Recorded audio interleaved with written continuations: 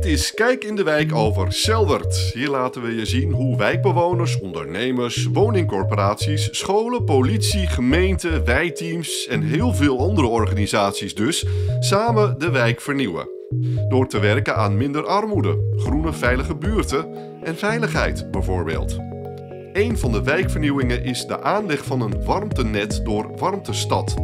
Mathilde Mars is van Warmtestad en weet daarom natuurlijk precies hoe dat werkt, zo'n warmtenet. Hierachter zie je daar een mooi voorbeeld van. Uh, het warmtenet wordt hier aangelegd. Een warmtenet is uh, twee buizen waar uh, door één buis warm water komt, water van ongeveer 70 graden. En dat gaat naar een gebouw en verwarmt in dat gebouw het, uh, de ruimte en het warme water. En op het moment dat dat water weer afgekoeld is, gaat dat door de andere leiding weer terug naar de centrale. Daar wordt het weer opnieuw opgewarmd en zo komt het weer in die andere leiding terug naar de woningen. Het water wordt uh, op onze centrale, op het Zenicke, wordt het opgewarmd. daar maken we gebruik van restwarmte van datacenters. Dat is nog niet warm genoeg, maar dat wordt opgewarmd tot de temperatuur die we graag willen. En uh, op het moment dat het warm genoeg is, dan gaat dat het systeem in. Juist ja. En warm water loopt dus gewoon de huizen binnen. En dan? Dat gingen we bekijken in de modelwoning in de Berkenflat. Nou, je ziet hier de aanvoer- en de retourleiding. Aan de ene kant gaat het uh, water van 70 graden, wat buiten, uh, van buiten naar binnen komt, gaat door deze hele flat en komt in deze warmtewisselaar. Uh, daar wordt het uh, uh, water wat hier binnen in het circuit binnen zit opgewarmd om de ruimte te verwarmen via de radiatoren. En voor het warm water wat je gebruikt in de keuken en om mee te douchen. De grootste verandering bij een aansluiting op het warmtenet is dat je niet meer op gas kookt, maar bijvoorbeeld met inductie. Je ziet hier verschillende inductiekookplaten en een inductiefornuis. Patrimonium geeft de mensen een inductiekookplaat terug. Uh, cadeau, omdat ze uh, ja, van het gas af moeten en dan uh, ze een andere kookplaat nodig hebben. Als mensen een fornuis hadden, krijgen ze een fornuis terug. Als mensen een kookplaat hadden, krijgen ze een kookplaat daarvoor terug. En we laten hier ook zien aan ze, als ze daar behoefte aan hebben, hoe ze daarmee kunnen koken. En, Zet ja. eens aan als je wilt, dan ja, dit is zien een... hoe lang het duurt. Ik weet niet of je zoveel tijd hebt. het gaat heel snel hoor. Het is ook echt een fantastisch systeem. Uh, het is uh, veilig. Uh, ja, het, vuur verdwijnt uit de woning. En op het moment dat je de pan eraf haalt, dan stopt het koken ook. Dus je kunt nooit meer bang zijn om je gas aan te laten staan. Het is super snel ehm, en net zo direct als gas. Dus het is echt heel gemakkelijk. Iedereen kan het leren.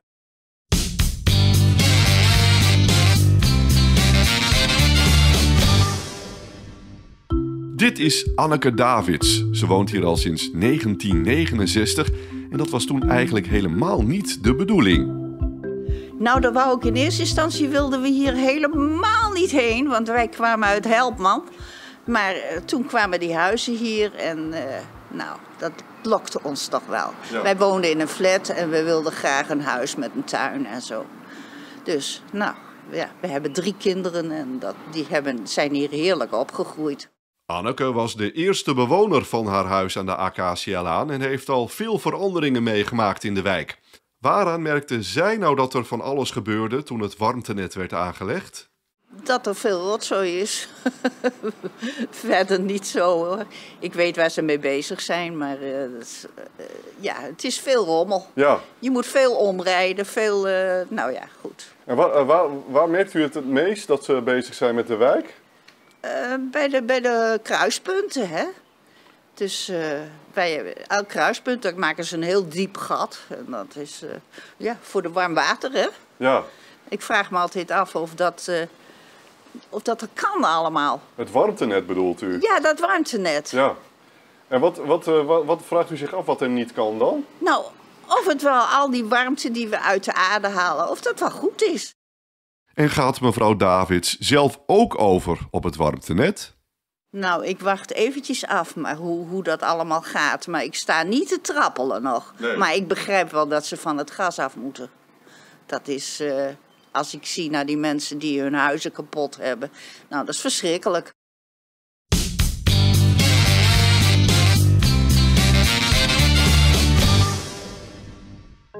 Lotje Pauwen is van projectmanagement stadsontwikkeling. Volgens haar zie je wijkvernieuwing overal terug. In de buurt, tussen de huizen, tussen de mensen en tussen de auto's.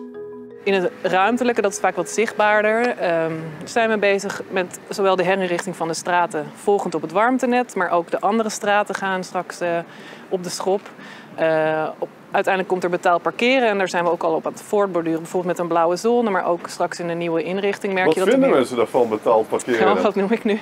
Uh, nou ja, dat is ehm, gelukkig niet door onze wijken besloten, maar door de gemeenteraad.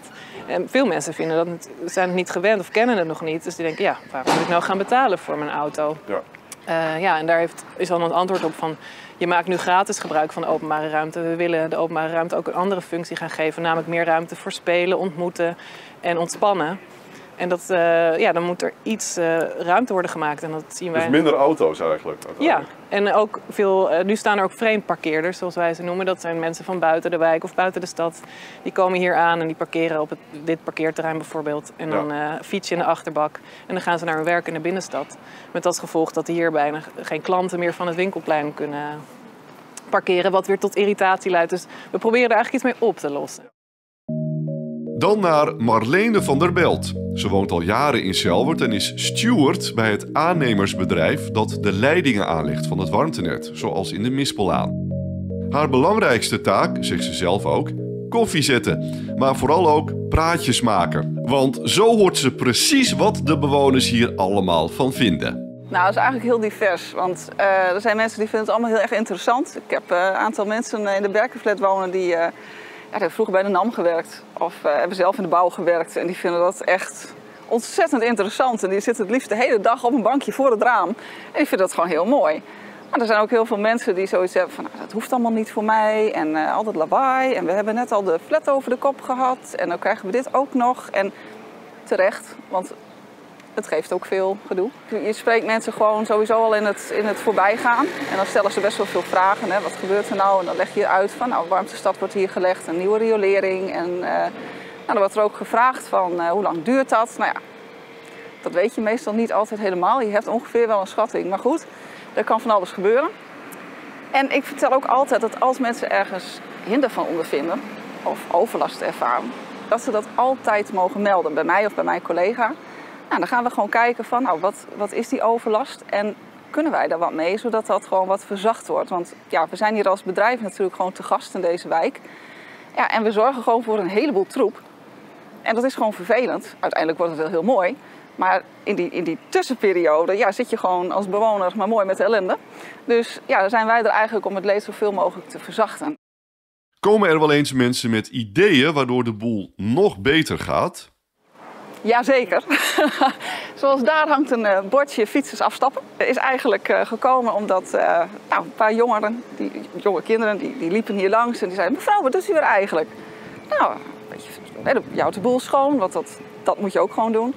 En ik zeg van nou, ik ben aanspreekpunt. En als je dan vragen hebt of als je ergens niet tevreden over bent, dan mag je dat gewoon bij mij neerleggen. En dan gaan we kijken of we daar wat mee kunnen. Nou, dat was goed. Dus gingen naar het winkelcentrum en ze kwamen weer terug. Mevrouw, wij hebben een klacht. Ik dacht, oké, nou zeg het maar. Ja, en uh, er wordt steeds gefietst over die fietsbrug. Of over die loopbrug, want het is geen fietsbrug. Kan daar niet een bordje met fietsers afstappen? Ik zei, nou, ik dat vind ik eigenlijk een heel goed idee. Dus ik ben onze uitvoerder gegaan en ik heb het idee voorgelegd. En hij zegt, nou is prima, gaan we regelen. Dus die jongeren die hebben dat zelf geregeld. En dat is gewoon heel leuk, dat je dus eigenlijk als wijk... ben je dus eigenlijk met z'n allen met het project bezig.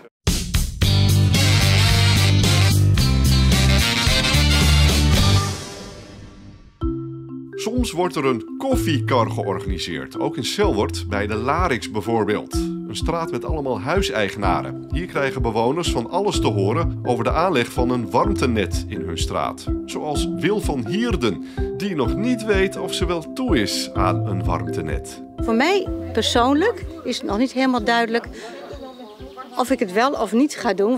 Want, wat komt daarna? Wat voor kosten gaan er komen? Je, ga, je ga, leg je vast aan één leverancier. Dat, dat vind ik ook iets. En ze schotelen het heel mooi voor.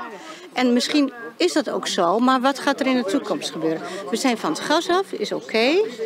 En daarbij, uh, wij zijn allemaal oudere bewoners hier op de Larix. En uh, er zijn ook mensen die denken van, nou, na onze zonvloed, het zal wel zo zijn. Maar ja, ik ben nog twijfelende. Lies Kroon kiest wel voor aansluiting op het warmtenet. En wel hierom. Mijn gasketel is eh, uit 2007, dus die is antiek. Dus er komt, ik moet iets anders. Uh, dus ik had er wel over nagedacht, wat dan en hoe dan en wat komt er dan. Nou, en toen kwam dit. Ja, dit is voor mij het is gewoon een heel goed alternatief. Uiteindelijk moeten van het gas af, denk ik.